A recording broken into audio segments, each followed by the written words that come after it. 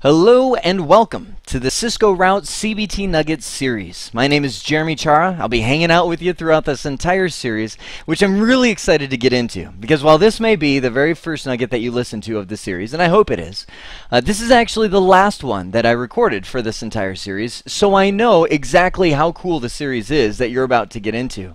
What I wanted to do was take just a few minutes uh, to talk about Cisco certification, because I know a lot of you are at least interested in that and moving forward. And one of my goals is if you're not wanting to get certified, it's to convince you to get certified. It's awesome um, to to get Cisco certified. Talk about some of the benefits of that, and really. My other major goal is to talk about how you can get the most from this series. Unlike every other CBT Nuggets series, I have some very unique recommendations for this one. So come with me. Let's let's go through the whole Cisco certification process.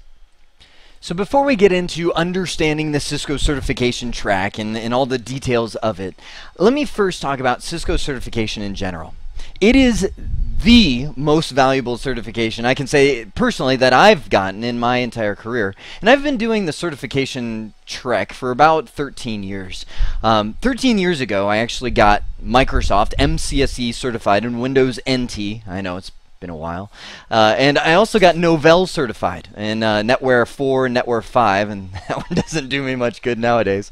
But nonetheless, I did it. And when you pass both those certifications, uh, you get a certificate in the mail from Microsoft or Novell, respectively, that says, hey, you are now uh, an MCSE or a CNE. And you, they all send you, uh, it's like a laminated business card. It looks kind of like a something important, but it's not really. A plastic card that says you are an MCSE, you can like flash it if you get pulled over by the police or something.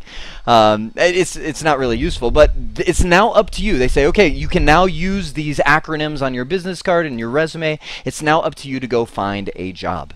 Um, which is great, you know. And back then, I knew nothing different. I was like, "Oh, this is pretty cool certification." Cisco certification. When I got certified, of course, you get the same, uh, you know, plaque, uh, not a plaque, what a certificate and business card and things like that in the mail. But Cisco goes above and beyond, and they actually incent companies to hire you. Meaning, unlike every other vendor that I've dealt with, Cisco actually goes out to companies and says, "Hey, you know what? Here's here's your price on our equipment. But you know what? If you were to hire X number of certified people or X number levels of certified people, you know, CCNA, CCNP, all those kinds of things, uh, we will give you this much off of the, equipment. Uh, so much so, it's actually Cisco's partner uh, program to where you know anybody can come in and be a registered Cisco partner. But as you move up, you hire Cisco certified people, and you let, let me back off and say you can't move up in their in their partner process without hiring certified people. So what you are, end up with is companies that are looking for your certification to add to their their staff because if they add you and of course i'm sure they want you to be a, a good person as well um, not just have the certification but if they add you they move up in their partner level with cisco and they get significant discounts off of Cisco equipment. Very cool to have companies looking for you now instead of you just looking for them. Um, I, matter of fact, this this became so significant uh, in years past, and they've put the kibosh on this, so you don't see it too much anymore. But they actually had problems with people who get their CCIE, uh, meaning they go all the way with their Cisco certification, uh, would finish that, and they would hire on at a company, but not really work there. They would actually uh, assign their credentials, their CCIE credentials, to that organization, and you know make X number of thousand dollars a year um, to to say that they work there. But they would just go off and do independent consulting. Well, Cisco has definitely put the kibosh on that. But the point of that is, you can see just how valuable these certifications are. So all that being said, go for Cisco certification. You can't go wrong. And let me let me talk to one more group of people. Uh, okay, so you work at a job. Most of the time, it's uh, working for the U.S. government because they seem to be the the worst at this. Who say, yeah, you can get certified if you want, but uh, we don't do anything for you other than you know a pat on the back, a Krispy Kreme donut, and a cup of coffee. You know, good job. Uh, to those people, I will say, you still got to do it. I mean, because first off, while while the the uh, job you're at may not value that your certification, and this goes for anybody, not just government, where they don't value certifications all that much. Um, think about the future and the doors and possibilities that could open for the future um, if you were to get those. So enough said. That that's my my pitch in a nutshell. Why you should get Cisco certified. And I'm sure you've already read through all of the the bullets on the screen. That's why Cisco certification is so valuable. They have been revising it over the years to become a very real world process. Now it's funny, when I think back to my initial Cisco certification, it was 10 years ago when I first got Cisco certified. I went through the entire CCNA and CCNP in a month. now I know, I know you're probably going, wow, you must be really smart. No, no, actually not at all. I can say after that month and getting all those certifications, I knew probably just about as much of Cisco technology as I did before I did that. Maybe a little more, you know, a little more. I just happen to be a good book studier. I could pull out key facts and be like, oh, they're probably going to ask something on that, highlight, highlight, highlight. And, you know, I, I was able to achieve it. If I were to do that nowadays, if I were to walk in with zero experience and try Cisco, there is no way I could pass even the CCNA exam uh, in a month. It's been that much of a change. Uh, may, well, maybe a month. I, am like, I don't want to shoot myself down that low. But uh, but the point is, it's been that much of a change uh, since the days of old when I originally got into Cisco uh, to, to now.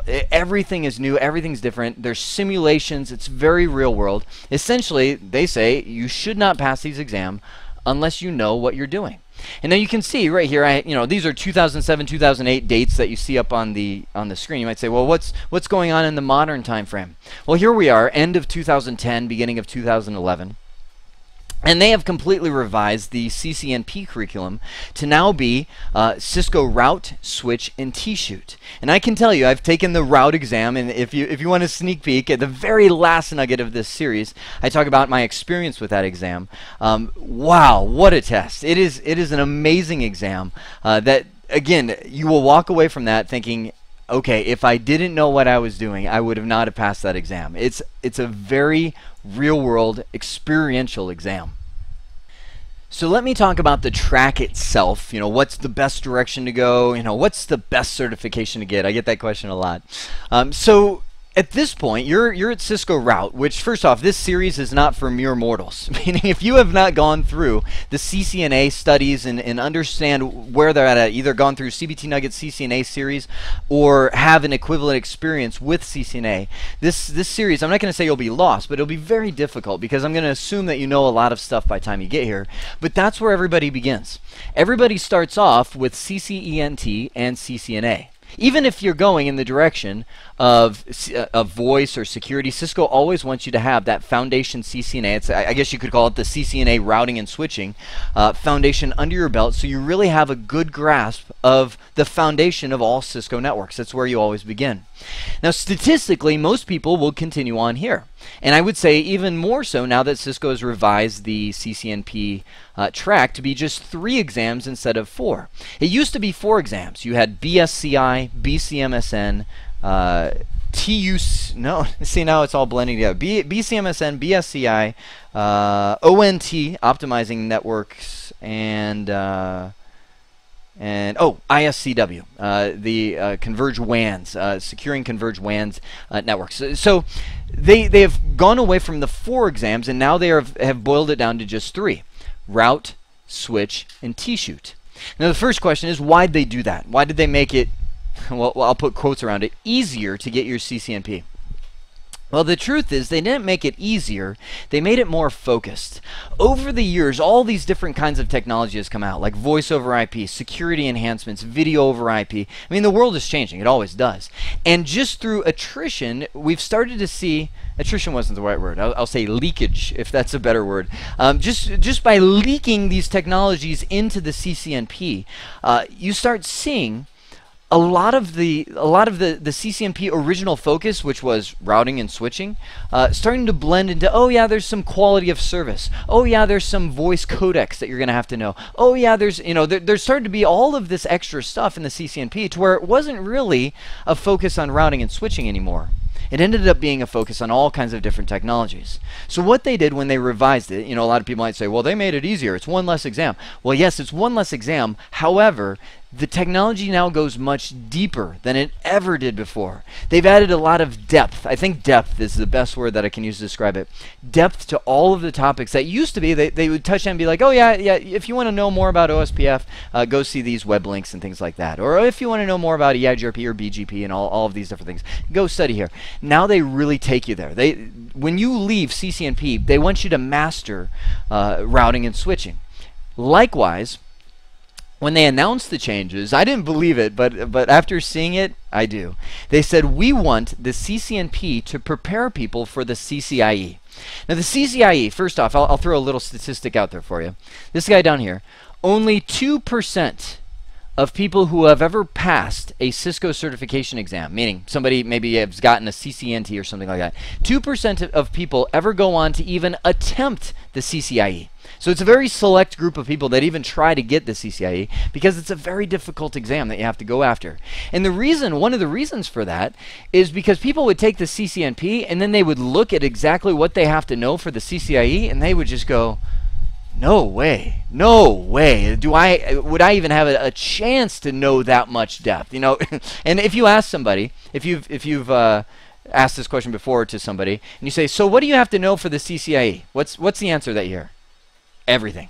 they always that's always the answer from Cisco from everybody. They always say you got to know everything to get the CCIE. Well, that's not true. You don't really need to know everything, and there's a lot of you know fear around that whole exam, simply because nothing prepared you for it moving up to it. Now it does. The CCNP is now a natural transition into the CCIE routing and switching.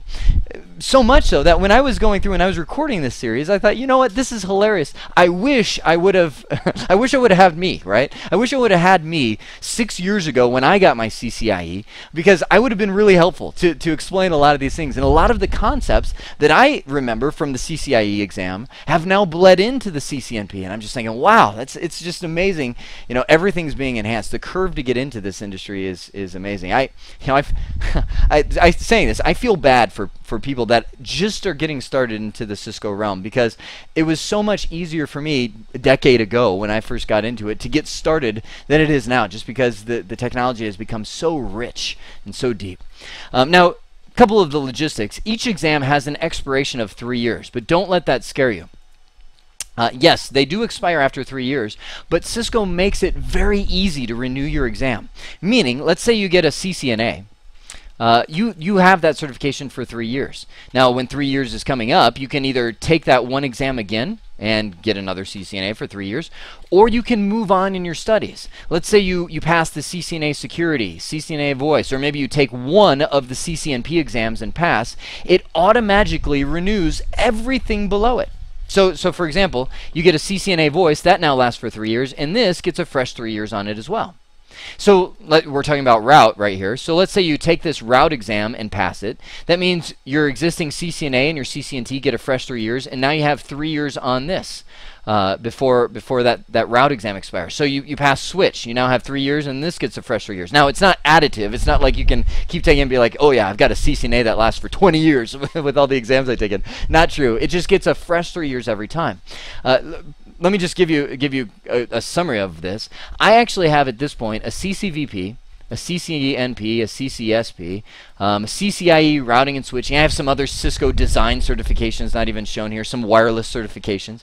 Um, but I actually, every two years, uh, uh the CCIE you have to retest every two years. And don't worry, you don't have to take the lab exam. You just retake the written. But every two years, I go in and pass my one exam. It automatically renews my CCIE for another two years and every other certification I have for three years beyond that. So it, otherwise, it, without this policy, I would be taking exams every day just to keep them all current. It also, I want to make sure I, I, emphasize this, it goes sideways as well. So let's say you've got a CCNP, you've passed all three exams, and then you get into the CCVP, uh, pass one exam from here, and you automatically renew your CCNP for three years. Isn't that awesome? Cisco wanted to make sure you don't spend your time reviewing stuff you already know. They want you to get into new stuff, and that's that's why that recertification policy is, is so cool.